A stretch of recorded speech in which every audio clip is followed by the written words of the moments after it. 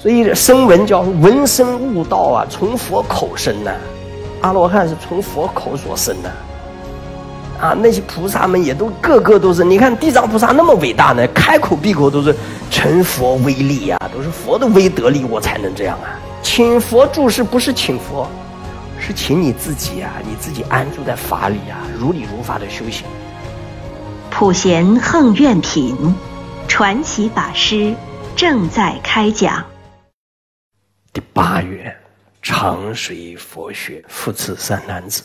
言常随佛学者，如此说破世界，必如这那如来，从初发心精进不退，以不可说不可说生命而为布施，剥皮为纸，析骨为笔，刺血为墨，书写经典，即如须弥为众法故，不惜生命。何况王位、臣邑、聚乐、宫殿、园林。一切所有，给予种种难行苦行，乃至树下成大菩提，是种种神通，起种种变化，现种种佛身，处种种众会，或处一切诸大菩萨众会道场，或处声闻及辟支佛众会道场，或处转轮圣王小王眷属众会道场。或处沙利及婆罗门长者居士众会道场，乃至或处天龙八部人非人等众会道场，注以如是种种众会，以圆满因如大雷震，随其越狱成熟众生，乃至视现入于涅盘。如是一切我皆随学，如今世尊比如者那。如是净法界、虚空界、十方三世一切佛刹，所有尘中一切如来皆悉胡视，于念念中我皆随学。如是虚空界尽，众生界尽，众生业尽，众生烦恼尽，我此随学无有穷尽，念念相续无有间断，生与意业。无有匹耶。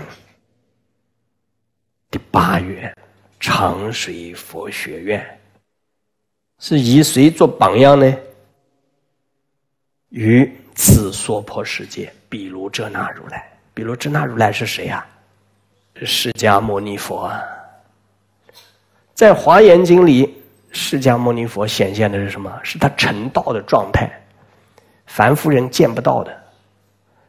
并不仅仅只是啊，悉达多太子，他这个时候是什么相呢？是千丈卢舍那身，八地以上菩萨看得见。所以佛说《华严经》的时候，八地以上菩萨见。但是佛虽然是八地以上菩萨才能见到他的境界，但是佛的境界却遍知一切，遍见一切。所以这里面也有声闻缘觉。但是反过头来，声闻缘觉看不到华严的这个，所以包括现在泰国、缅甸、斯里兰卡，他他们没有这个经。这经典里说，声闻缘觉看华严经如盲聋鹰哑，看不到，如盲人一样。佛说法，它像聋子一样，哎，也没有办法对答这个华严境界的语言，像哑巴一样。我们中国那个福报大不大？特别大了，不读华严不知佛家富贵，就不学华严不知道我们中国有多富贵啊！人读汉文能读这个经，比如这大佛这时候显现的是报身佛的状态，头戴毗卢佛冠，文殊普贤各戴毗卢佛冠，都是报身佛的状态，密言插土。表面上看佛陀在菩提迦耶、菩提道、菩提树下成道的时候。但实际上讲这个经典分了七个地方，用九会来就是展现的，有个四句偈来总结这个华严经所讲的：菩提场出九世多，三四刀立即夜魔，普光明殿二七八，他化兜率五六过。这是总结了佛陀讲华严经的这个。七处九会，第一出在菩提道场成道宣说华严，六品十一卷，第二会在普光明殿，这普光明殿就是佛的报身的密言插图，说经六品四卷。第三会在刀立天，回到玉阶天，玉皇大帝的那个啊地势宫殿，讲了六品三卷。第四升到第三层天夜摩天，讲四品三卷。然后第五会就升到兜率天，讲三品十二卷。第六进入塔化自在天魔王的宫殿。这个时候佛成道的时候，请问魔王躲得掉吗？躲不掉啊！佛的这个光遍一切处，谁也躲不掉啊。然后在魔王宫殿讲了一品六卷，第七会重回到佛的这个密言插图普光明殿。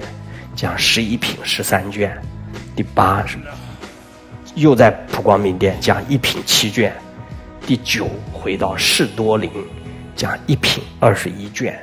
为什么会到士多林？士多林就是人死死人场啊，坟场啊。为什么说死人场佛要去讲呢？因为人死的时候啊，也会回光返照的，对不对？过去它也超时空的，过去、现在乃至未来，那个时候都见的。请问那个是不是佛光啊？其实那是佛光啊。所以讲这一部分的时候，说人若人临命终时能念佛、能正觉的话，那个时候就会往生的。临命终可以往生的，但平时人不不知道。到了那个时候，哎，我小时候怎么看到了？我怎么长多大怎么看到了？哎，我是做过什么事、说过什么话又看到了？其实这是什么光？是超越时空的，这是什么光？这就是佛光啊！释迦牟尼佛成的佛是谁的佛啊？是我们在座每一个人的佛啊，就是成的我们的佛啊，对不对呀？哎，也就是我们如果在死的时候那一刻，不管是谁，那个时候都是会跟释迦牟尼佛同体相遇的。但是我们不知道，我们不知道那是释迦牟尼佛啊，那知道只只知道那是我自己。包括我们现在在在讲课。我们哦听得清楚啊，这感觉到开心啊什么啊的，这就是就佛啊！你们有没有感觉那就是佛啊？那说什么仗着我？那为什么还是我呢？那仗着你就是你在仗着你自己啊！所以佛教破我执，你我执一破好了，整体的就变成佛了。所以我们最最大的障碍就是我执，能障须弥，能生巨海，能障圣道。所以佛成的佛不是释迦牟尼佛成的佛，就代表我们一切众生都成佛了，但是我们还不知道，哎，所以佛才说：“奇哉，奇哉，奇哉！一切众生皆具如来智慧德相啊，皆因妄想执着，你不知道啊。虽然不知道，再生不减，再佛不增，同一体性。所以呢，你看，那你看，那佛还不得不弘扬佛法。”佛要不把被我们救出去，那我们的病就是佛的病啊，就变成了，是不是？所以佛弘扬佛法也是法尔如是的，也不是有为的，是法尔如是的。所以诸佛菩萨化现人间来教化众生，都是法尔如是的。所以放心，哪个做皇帝都放心，不会扰乱社会的。因为佛弘佛法，它是顺应着这个至善之道。啊，顺应至善之道。你看，这是佛法几千年下来，这佛教都是正能量，都是正面的，没有产生过负能量的。那负能量那就不是佛教了，那就变成邪教了。所以，只要是佛教，它就是正能量的，如实之道。天台宗集讲就讲法好了，讲法叫自讲自听，叫自信众生誓愿度。虽然看大家好像各个不一样，但实际上都是自信众生，是不是？哎，所以这个长随佛学，我们要学谁呢？学比如这那如来，释迦牟尼佛。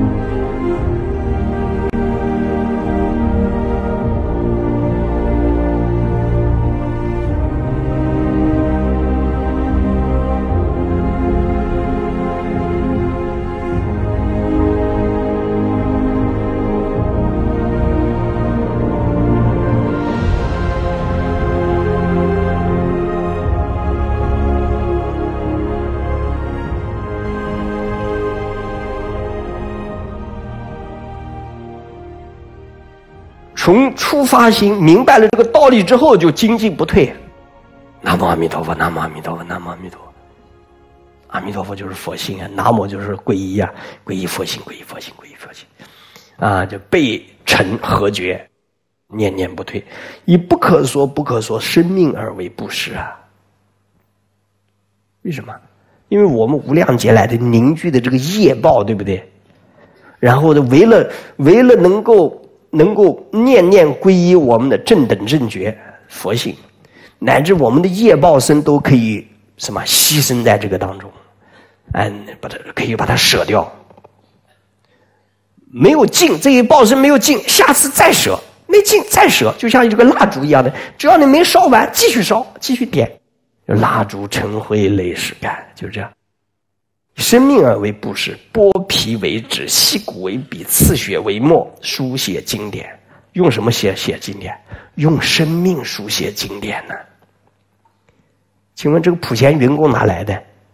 是不是比如这啊？比如这那佛从觉悟之后，然后念念精进，生舍生命，身口意业精进，这样然后就制造的这个功德业啊？是功德业，是不是这个云海啊？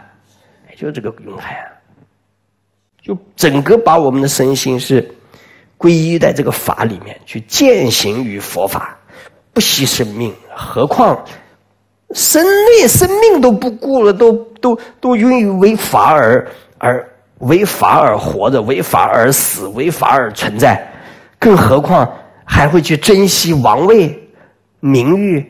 珍惜那个诚诚意聚落宫殿园林那个身外的这种东西吗？他都会把它变成修行修行的资粮。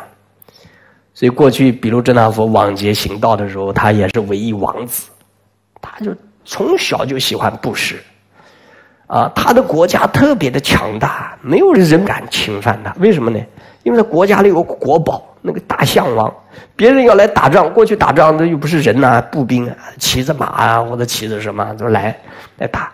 但是他这个象王啊，只要吼一声，所有这些什么马什么东西都跑回去了，就所以你没办法跟他打的。他国家这个人民过的富裕的生活，国家特别的这个太平幸福，然后邻国呢就很羡慕他，然后就有个外道给他出点子，是吧？那你要想得到他向往也简单呐，你只要就跟他那个王子去化缘就行了，要就行了。他王子要什么给什么。他说这不可能吧？怎么可能？他说你听我话去要试试看。好，就派了一个人就去要去，就问王子要，王子真的就把这个像就给他了。一给了之后怎么样？老百姓知道了，老百姓怎么样？老百姓怎么样？老百姓有没有这么高的思想境界？没有啊，老百姓。对这个王子会不会生气啊？都生气啊！老百姓生气呀，大臣们都生气呀，然后都跑去打报告，就跟跟国皇帝说说：“你的儿子是国贼败家子，我们国家就靠这个项王幸福安康的。后来他把这个项王送人了，送给敌国了。我们国家从此之后不再会有太平了。”我们幸福美满的生活，从此之后就葬送掉了，都是你家这个王子害的。所以皇帝也气得不得了，到后宫里面，啊，你怎么可以把我们国家的这个国宝给送人呢？就是把你流放，流放到流放到这个很远很远的一个魔鬼城，野兽出没、魔鬼出没的地方，到那去吧。妈妈就很心疼呐。知道我这个儿子从小就善良，惹祸了，然后就给他儿子带了很多黄金。王妃跟着，还两个小孩也跟着他到魔鬼山里去了。结果一路下来，走到哪他又布施哪，走没有多远，黄金白银都都已经就布施完了。还没有到呢，早就布施完了。然后再下去，哎，骑的马也被别人要去了，哎，后来帐篷行李也人要去了，要到后来，好了。两个小孩子，别人说我我家里没有奴仆，你两个小孩给我做奴仆吧，啊，他就发过愿嘛，谁只要问我要什么，我都会给，只要我我有，我都会给，就好嘞。儿子女儿也送给别人去了。再走下去，好嘞，又一个人来了，说是我我到现在讨不了老婆，你把，哎，他给我做老婆吧。想想他他含着泪问他怎么办？有人我我要你了，你怎么办？他过去那个女的也好啊，说丈夫有什么愿，我就帮助你完成愿啊，实现你的大愿吧，我愿意，只要你决定什么，我都愿意。结果他就含泪的说：“那你把他带走吧。”你看，这是谁呀？天上玉皇大帝啊，地是天呐，就被他感动了。像一个人，你你克服了这个自私自利，当你完全敞开胸怀，以光明的心态拥抱众生、拥抱世界的时候，这股能量大不大？非常大啊！天地震动啊！所以地释天王来感动，地释天王都感动的落泪啊！这个菩萨这么厉害啊！然后把他太太又还给他，一起过苦日子。敌国后来也是也是被他感动，再把这个相又还回来，还回来。然后父王啊，然后又又把他接回来。嗯，真正的就是这样。你你想了，你哦，这个这个我们比如遮那佛、释迦牟尼，过去都这样子的。请问我们想谁学如来，常谁如佛学？你学得会吗？会不会像？学得会吗？啊我跟你说，不是这么一下子就学得会的。当我看到这个的时候，说我们长随佛学，我看到这个佛是这样子的时候，我好几年我想不通哎，为什么？不是佛不伟大，我们太自私，我们自私惯了，对不对？连猪好了，都猪蹄子都往里拔的，你看哪个猪往外推草的？没有的，啊，那个鼻子都是往里勾勾勾勾回来，啊，草弄个屋把窝弄好了，那猪铺床铺的很漂亮的。哎，那鸡也是抓抓抓，一早天一亮就跑出去爬去了，就吃去了。老母鸡啊，看到看到好吃的，咯咯咯咯咯咯，就喊小鸡过来，对不对？哎，它也有菩萨精神的，对吧？但是就是啊，过去圣人说，他说妇人之仁，遍及天下，即是圣人之仁呐。我们就是遍及天下难，跟我没关系的，我我就我为什么把我好的给你啊，分享给你啊？就难，这个普这个普字上做不到。但我们中国也有这样的，中国副大师就是这样的。弥勒菩萨化身梁武帝的时候，一个副大师，他也是的，家里也很富裕的大户人家，种种地，玩玩，喝喝茶，遛遛鸟，没事呢还到河里去抓抓鱼。但他抓鱼很奇怪，他抓好鱼之后。他那个网啊，网好鱼之后，他把网又放到河里面，还对这个鱼说：“说该走的走，该留的留。”就这样。那个鱼不走的，他就捞回去了。就那天在打鱼的时候，忽然哎，有一个人到他面前来了，一看黑黑的啊，胡子拉碴的，这个高高个子，一个很魁梧的，是谁呀？达摩祖师。达摩祖师说：“你怎么还在河边打鱼呢？”他说：“为什么我们不能在河边打鱼啊？”说你看看水里，他往水里一看，达摩祖师的这个威德加持力嘛，就把兜率内院陷在水里了。他一看水里的兜率内院，恍然醒悟了：我是兜率内院来的，我是弥勒菩萨啊！这怎么到了人间还在打鱼呢？回去之后就完全答辩，且不高，谁要我什么东西我都给。好嘞，没几天家里田园都被人要去了。再过几天，房子家具都被人要去了；再过几天，老婆也被人要去了，也是这样的。所以这种事情还真的有啊！这就是梁武帝时候啊，我们中国副大师啊，后来他也就是因为这样，这个名震朝野。后来梁武帝听说啊，浙江义乌还有这么一位叫傅大师啊，请到皇宫来供养。你看，就这样的。所以我们佛教界里这些菩萨，你看感人吧？我们有这个心量学习吗？至少我们要反问自己，要有一种惭愧心。像像哪一天你慢慢慢慢你就觉得我越来越学，越来越学，越来越像，一开始连接受都接受不了的。老实说，你敢吗？你敢？你敢吗？你敢随佛学吗？你敢吗？那像佛伟大不伟大？所以说，为什么要我们身体要礼拜佛？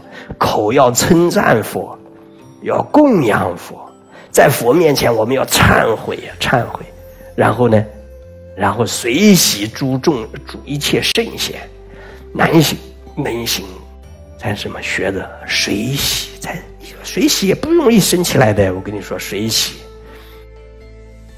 我们比如哲那佛过去的这个故事，你说你敢随行吗？还有比这个更严重的啊！你说倒好哦，自己要做好事哦，孩子也舍，老婆也舍，这样男人我才不要跟他呢。有很多人会这么想的。我说你自己为什么不舍呢？我们比如真那佛也有舍自己的时候啊。金光明最胜王经里舍身是火，三位太子去游玩的时候，看到一个银瘦的老虎啊，已经瘫软在地上了。啊，那些小虎崽子刚生了小虎崽子，体力虚弱，没有进食，找不到食物。看老小老虎、小虎、老虎都快饿死了。然后大王子、小二王子看了之后，哎呀，可怜啊，可怜啊，这不就走掉了？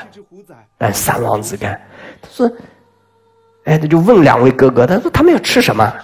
采点这个这采点蘑菇，采点山果，可不可以？”他说不吃。他哥哥的知识多，他说老虎不吃这些的，老虎吃肉的，还要热血热肉的。哦，热血热肉。他就想了，我是热血热肉呢。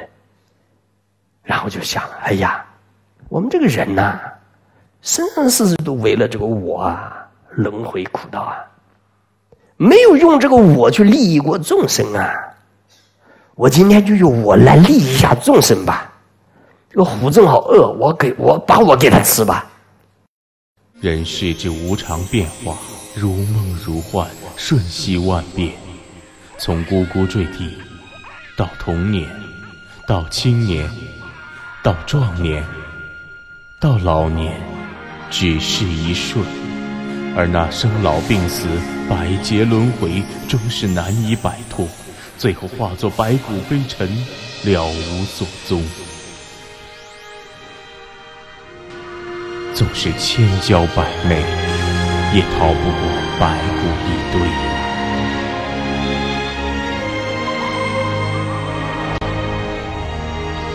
万物生灵，飞禽走兽，弱小或强猛，虽奔命一生，莫不如此。